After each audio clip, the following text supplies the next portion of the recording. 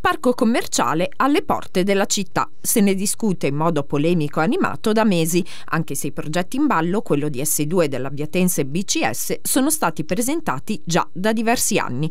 I cittadini di Abbiategrasso si dividono e i commercianti li abbiamo raggiunti per avere anche il loro punto di vista. Assolutamente siamo contrari e eh, dobbiamo sicuramente manifestare il nostro dissenso per questo progetto che eh, andrà comunque a cambiare eh, la, tutta, tutto quello che è la struttura commerciale della nostra città. Sicuramente questo, questi grandi insediamenti commerciali eh, deturperanno il paesaggio. Spero ecco, eh, vivamente che questa consapevolezza lo, lo sia per tutti i commercianti. Siamo totalmente contrari a queste cose anche perché sono dal 1993 che noi combattiamo io e mio marito anche proprio in prima linea siamo stati i primi firmatari uh, a, diciamo così, a opporci a questa idea di città satellite che ad Abbiategrasso non esiste. È un articolo che era apparso sulla Libertà nel 1993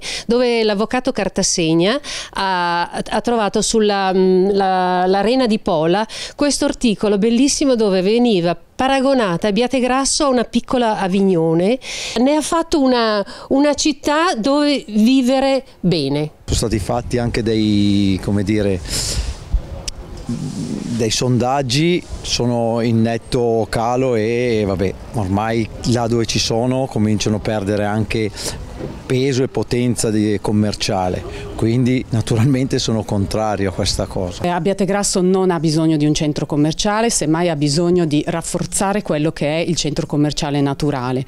Oltretutto siamo in piena emergenza climatica e, e la nostra giunta che cosa fa?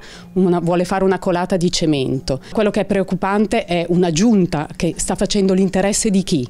Non abbiamo bisogno di un parco commerciale, il nostro è già un parco commerciale il nostro, è un bellissimo parco commerciale all'aperto, non abbiamo bisogno di scatole di cemento. Io direi al nostro sindaco di pensare a noi, cercare di valorizzare, promuovere quello che c'è è che siamo veramente tanti, là verrebbero fuori alla fine un 10 partite IVA, qua siamo 300 quasi. Quello che vedo è eh, una cementificazione spropositata, eh, non utile, non richiesta, eh, con una serie di appartamenti, porterà sicuramente traffico e inquinamento, però questo sembra piacere molto perché la cosa forse più importante importante è poter comprare tante cose a basso prezzo e delle conseguenze di tutto questo non gliene frega niente a nessuno.